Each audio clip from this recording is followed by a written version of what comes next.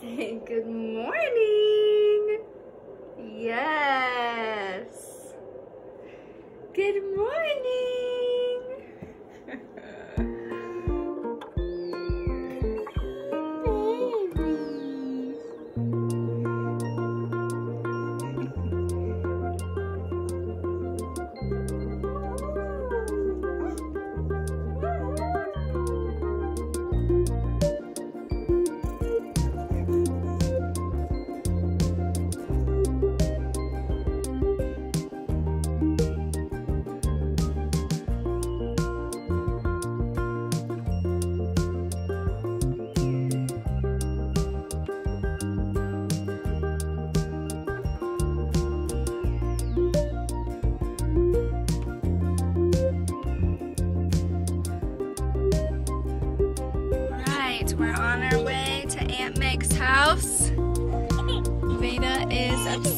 because the car isn't moving and we're just waiting on Devin to get over here. That way he can drop us off.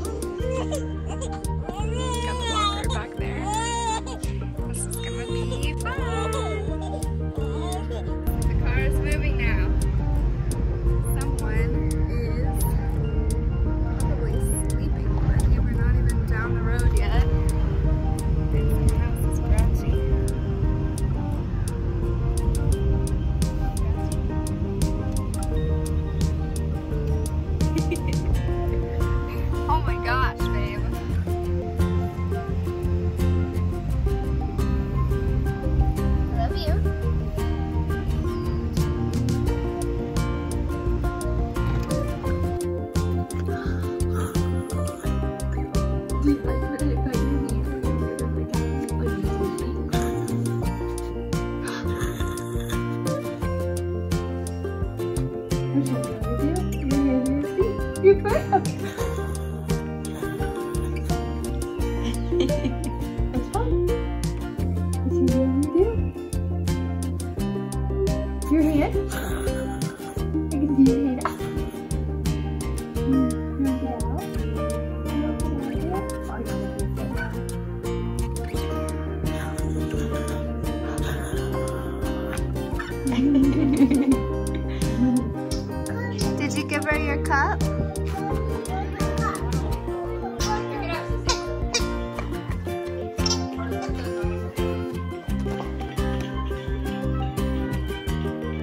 Back? Uh-huh.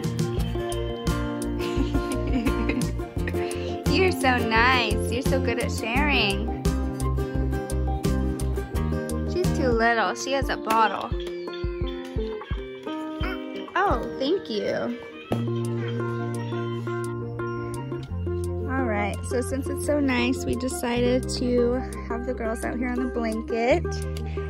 Megan is working on her flower bed, I am just sitting here with Veda.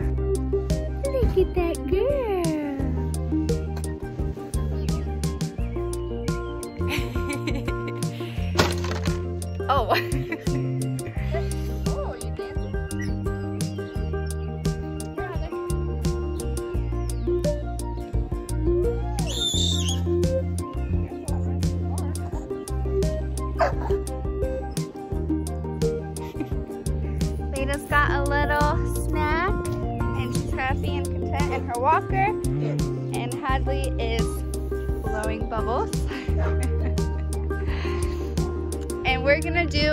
Postpartum Q&A, right Meg? So the first, oh starring Millie, a stallion. the first question is gonna be, how did our deliveries go? I'll let you go first, Megan, because our deliveries were a lot different. How was your delivery with Hadley? Uh, I think I had a fairly good delivery with Hadley. Um, I can't complain. I self-labored at home mostly. Got to the hospital about 5 a.m. on March 6th and I was 7 centimeters dilated. Um, I began pushing. I pushed for like 30 minutes and she was born. I Did you get the? epidural. Yeah, you got the epidural, right? How far? So you went to the hospital at, um, you were seven centimeters, right? And did you get it like right then when you got to the hospital? Yeah, because um, if I waited any longer, I wouldn't be able to because I'd be dilated. Right. So I'm pretty sure like seven or eight's the breaking point. So I'm shocked that I actually got it. Yeah. That would have been so crazy if you had to do But it I got it and they had to give me more because my, I can't remember if it was my left or my right side, but only one side of my body was numb. And I couldn't, and I could still feel my other side. So they were like against giving me more, but I like asked them and they gave me more. And it just made me really sleepy, which is why I get why they didn't want me to get more. Yeah, because like you didn't have the energy to push. I went in at like 9.45 to start pushing and she was born at like 10.13. So That's not bad. it was a good, like clean like delivery. I did have to get like some stitches, but I don't even remember how many. And honestly, I think that was like the worst part of like Was the thing. stitches. Yeah. 'Cause See- honestly, I didn't feel her like I had epidural, but I Right. think it was starting to wear off or something because I could feel like them stitching me up. Yeah. But yeah, I can't complain. I'm very lucky, and if I had to have another one, that's exactly how I would want it to happen. Absolutely. I would say the same for us. Megan was in the room when I had Veda. It was her, Devin, and my mom. And then we also FaceTimed Devin's mom and uh, they were Had Ross, just us two. yeah. They were in the waiting room. So we FaceTimed them. For me, I had to get induced. So I was exactly 40 weeks pregnant and I had to go into the hospital and they gave me Cervidil to help my, is she okay? They gave me Cervidil to help my body dilate because I was fully effaced but I wasn't dilating at all. So they gave me Cervidil and then the next morning they started me on a Pitocin drip. So that is when I really started having contractions and stuff. Is she eating the flower bed? Well, my Hadley knocked my flower out of my flower pot, and now it's falling apart, and then my dog started to eat it, and it's just not a good time. This is life. Like that? She's much happier now that she's in her walker.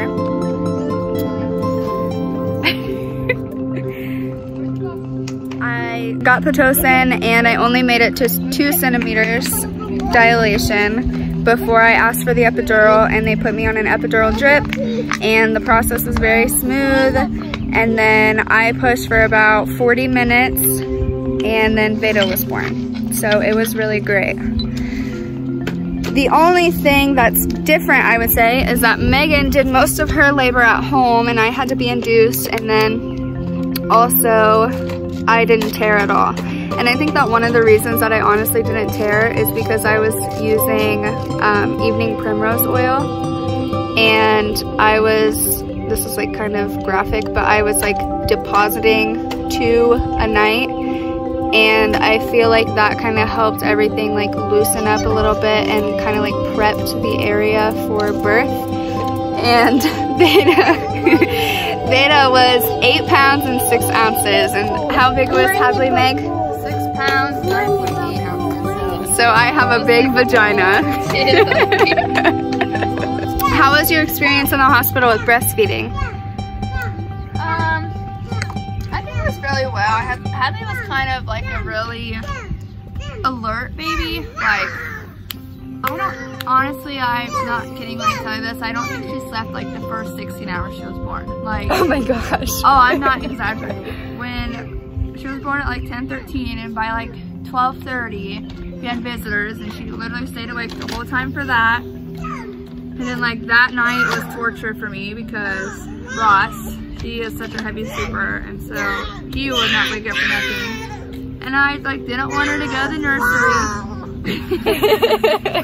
She's still crazy if you can't tell. She's very alert, that's Yeah. for sure. Um, but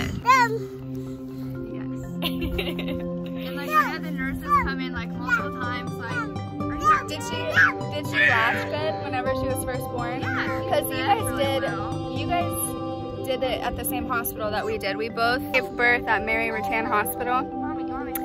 And um, when you gave birth to Hadley, did they have like a separate nursery? Because I know when I went in, they didn't have a nursery. Yeah. They had, they had that whole room. Yeah. I was like, no, I got it. You know, I'm a mom. This is my baby. I know what my baby wants. And no, guys, it was terrible. I got, I was already on like 24 hours with no sleep when I went in to have her. And that is crazy. Yeah, so I bet I was like 40 hours of no sleep. And then finally I was like, take her. Yeah. And yeah. it was great that Megan had a baby before I did because I took her advice on a lot of stuff. Like she told me, take advantage of the nurses. Like you're gonna be with your baby constantly after this. Like you're not gonna have somebody to just take her while you sleep and stuff like that. So I definitely took her advice and we had her with the nurses, you know, whenever we would sleep. And I think that I probably only slept for like two hours at a time the whole time we were in the hospital because I was nursing and they would bring her in. Veda was also very alert when she was born. She was an aggressive eater and she still is. Like she knew that she wanted to latch and she wanted to, um, you know, get some milk. So that was awesome for us. But one thing I will say is that a lot of people think that going into breastfeeding that they say like, oh, I'll try to do it. But for me, it was like, I'm going to do it. And if I personally didn't have that mindset, like I would have given up because it's very hard to get them to latch and to get the positioning right. I would say probably for like the first two weeks, right, Meg? Yeah. Before it like goes smoothly. It like, it hurts. Like, I mean, obviously, like this is not a, anything like touching your, you know, boobs like makes me cringe, but you definitely get used to it. I think like... And it's like a constant thing. So your nipples will get like chapped and dry and it's almost like, I don't, my nipples never cracked or anything, but... Mine, like, I know some people that like really bled and... Yeah. I don't know. Hadley wasn't like an aggressive eater though, so... Veda was, and I knew that I wanted to breastfeed, so what I did for like two weeks before I was due, I would scrub my nipples with a loofah in the shower. yeah, because I had read that a good way to help with like your, like how you start breastfeeding, a good way to help with it is to like toughen up your nipple skin so that whenever, you know, your baby is nursing, your nipples are already kind of used to the intensity of it, I guess. I feel like if I definitely have another baby, I'm gonna go to Delaney because I feel like she's a research type person and I just kind of like wing it. well, I wing a lot of stuff too. Like I don't always research everything.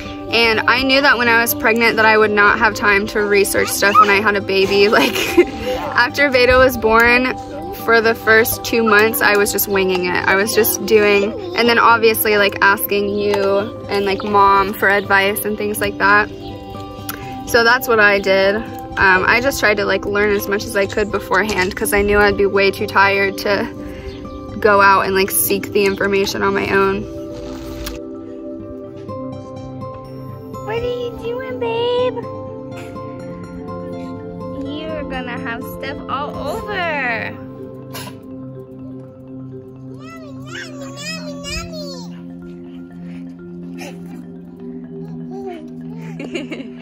Was that funny?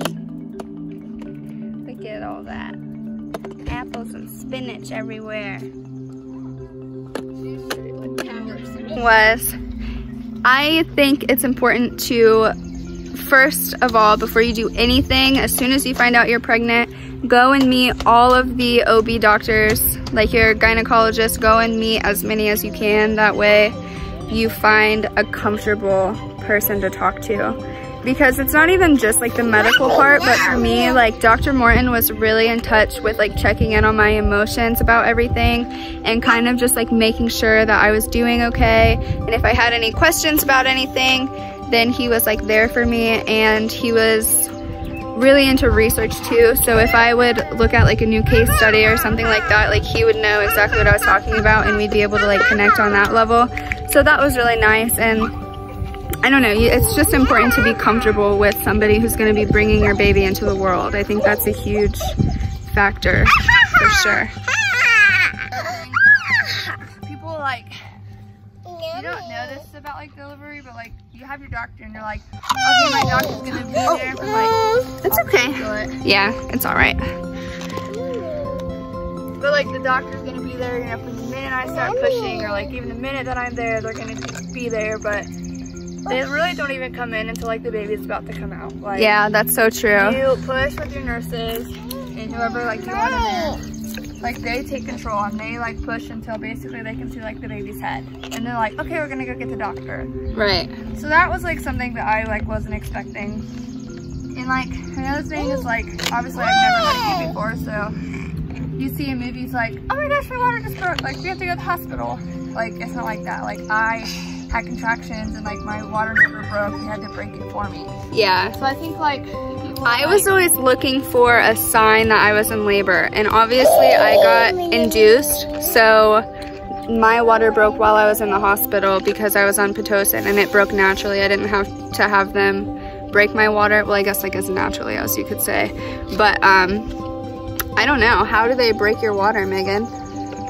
honestly like it's such a blur. I don't even remember. I think Don't they take like a like a tool like and little hook thing or something. yeah, and they snag the bag and like pull it out? Yeah, but I was on the epidural, I'm pretty sure, so I don't know if I was just like so kind of like out of it that I don't even remember, but I just remember like the feeling of my water being broken, but I don't remember like it hurting or anything like when they did it. So I don't really know, I just know I was like, yep, there's no water. Yeah, and it's really important to have a good connection with your nurses too, I would say. Yeah. Because like Megan said, they are with you from the beginning to end. Like even after you have your baby, you're probably gonna have the same nurses because I know I did. yeah. And if I didn't have, you know, good rapport with those nurses, it would have been awful.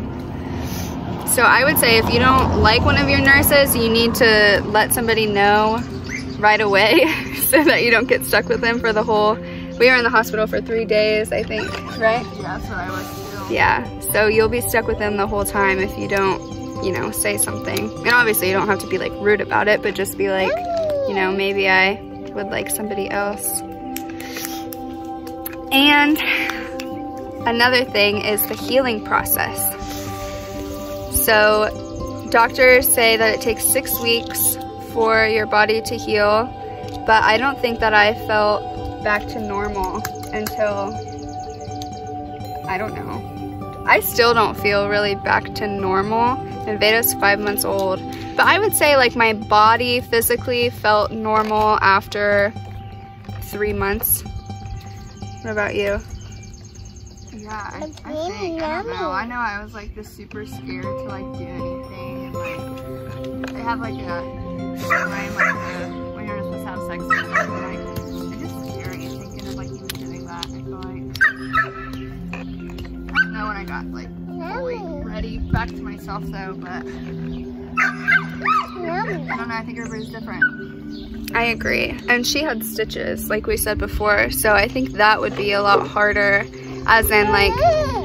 sex and like even pooping or like anything that has anything to do below the waist is just really scary and traumatizing because the last memory that you have is a giant baby coming out of you.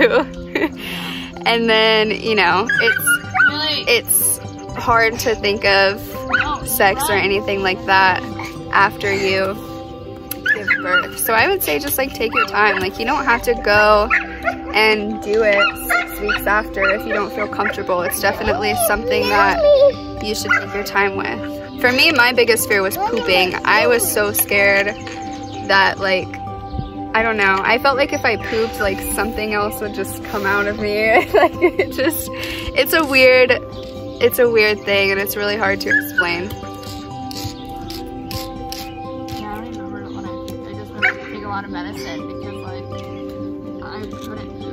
Laxatives, Yeah.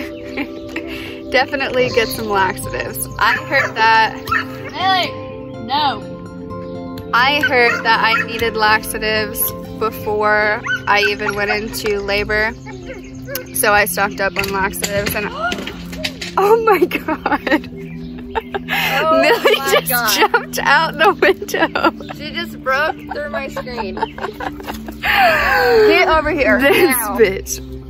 She's gonna be in trouble. No. Well, oh my god, what am I Yes. The screen was right there and she just jumped right out of it. Ah. what are you doing, Hadley? Hey, hey, hey! Nope, get over here. There's a bird, I know, but you can't run out in the street. Come on. Come back up here. Come on.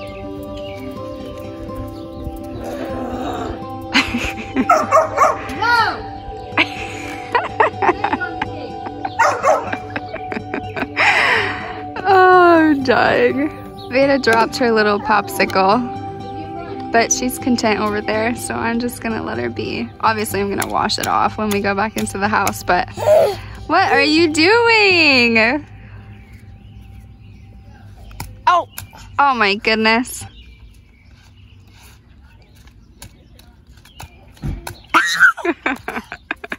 Your mom is gonna be so happy about this. Your dog is crazy. Oh my god. I can't believe she did.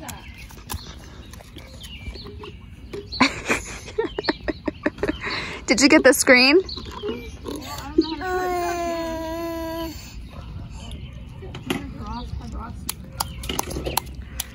Yay!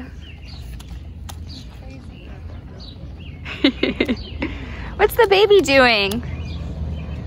Hadley, what's the baby doing? Is there anything else that you would just let it happen? Take your socks off. They're too far gone at this point. They're soaked. Oh. It's okay. I need a bath. It's okay. I think it's okay. Right? You okay? okay. Is there anything else that you want these people to know about postpartum? I don't think so. I'm still just flabbergasted about my dog. All right, guys, that's gonna be the end of the video. Don't forget to subscribe to my channel, like my videos, and leave a comment below. Um, if you have any questions that we didn't touch on, I could possibly do another postpartum video that's more in detail. We're just kind of dealing with our crazy lives right now, so I'm sure that there are some things that we missed. But anyways, leave a like, leave a comment, subscribe, all the good stuff, and we will see you next time. Say bye, Hadley.